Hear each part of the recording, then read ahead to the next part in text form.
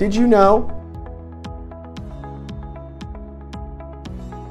Did you know city contractors are prohibited from having conflicts of interest or competing outside interests that may affect how contracted services are performed?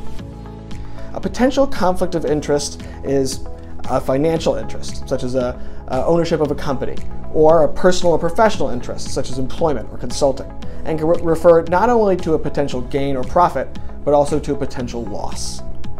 To prevent conflicts, nonprofit city contractors are required to 1. possess and maintain a conflicts of interest policy, and 2. include a requirement for directors to submit an annual compliance statement to the board secretary or a designated compliance officer.